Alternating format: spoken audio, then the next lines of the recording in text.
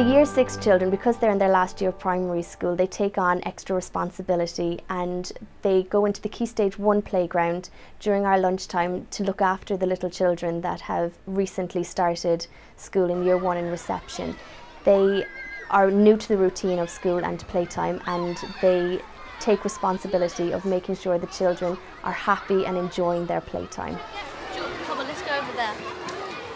We are a rights respecting school. We follow the UNICEF rights of the child and that allows the children to understand that the rules that apply to them, the rights that they have, should also apply to children across the world. It allows us in our playground to talk about the rights of individual children and to talk about how other children have the responsibility to respect those rights and to allow them to experience the world in the same way that they want to experience the world. So what is a rights respecting school? Orla?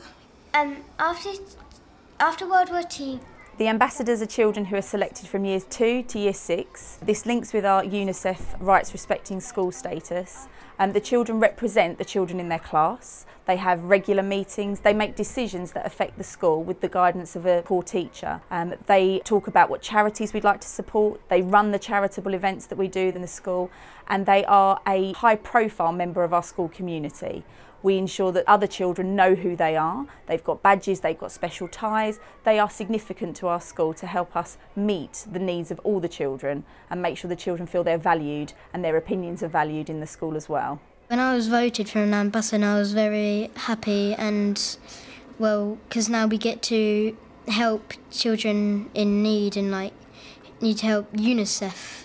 So we have meetings to discuss um, what we're going to do, and we do things like fundraisers. What what latest project have we done to help children, other children?